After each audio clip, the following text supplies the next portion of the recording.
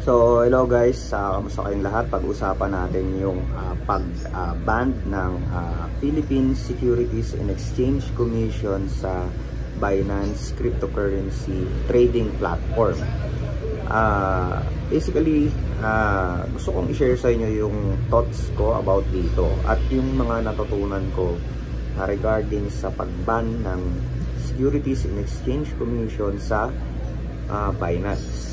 So, number one is kailangan na i-check mo kung yung gamit mong trading platform is approved by Philippine Securities and Exchange Commission.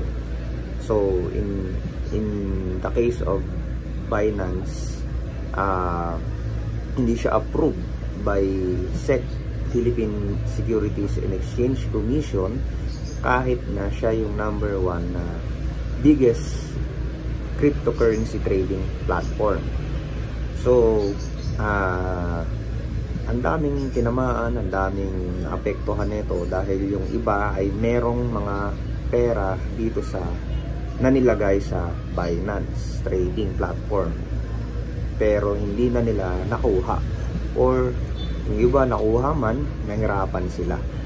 So, yun yung number one na kailangan nating i-check kung uh, registered ba sila sa SEC ng Philippines. So, uh, number two is uh, you need to have more than one trading platform.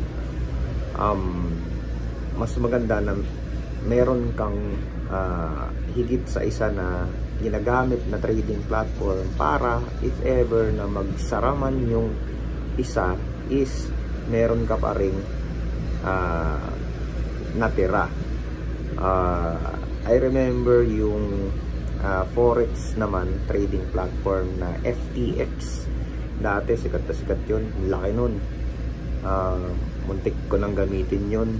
Pero biglang nagsara So, yun yung problema. Maraming naipit doon and kawawa naman sila.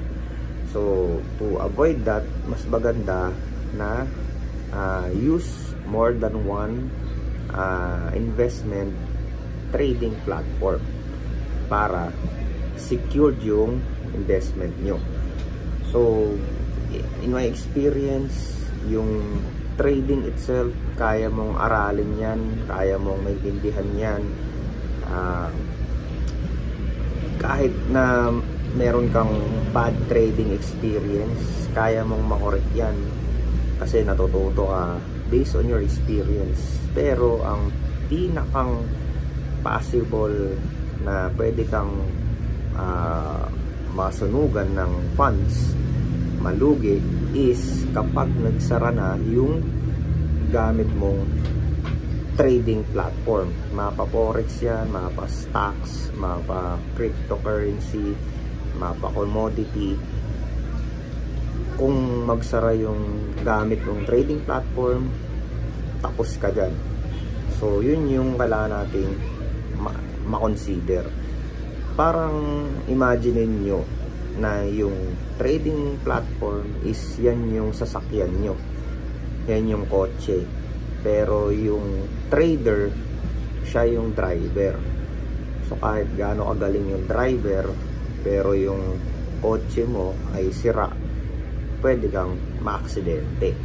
So ganun. Kahit gaano kagaling mag trade kung biglang nagsara yung trading platform mo pwedeng malugi yung perang nilagay mo pero kahit naman matatag yung trading platform na gamit mo pero hindi ka marunong mag-trade, pwede ka rin uh, masunugan ng pondo or ng pera. So, make sure na consider nyo yung pag-aaral, how to trade, and dapat secured yung gamit nyo na uh, platform. So, uh, hindi ko rin masisi yung iba bakit mas gusto nila yung international trading platform kasi mas maganda yung user friendly experience mas maraming features mas mabilis mas organized mas mababa yung yung cut ng platform kaysa sa mga local. Well, siguro yan ang challenge sa mga local trading platform natin dito na i-improve yung quality, yung user-friendly experience para makasabay sila sa mga international trading platform para sila na yung mas piliin ng mga local Filipino traders. So, yun lang guys and I hope na uh, ma-consider nyo yung mga points, yung mga opinions ko about uh, yung pagsasara ng Binance. So, very important to dahil uh, marami na ngayon nagpapanik dahil may mga investment din sila sa mga ibang trading platform katulad ng uh, XN, eToro, and other trading platform which uh, pag-usapan natin sa susunod na video dahil yung XN and eToro is uh, recently naglabas din ng warning or caution ang Philippine Securities and Exchange Commission about sa paggamit ng mga trading platform na ito.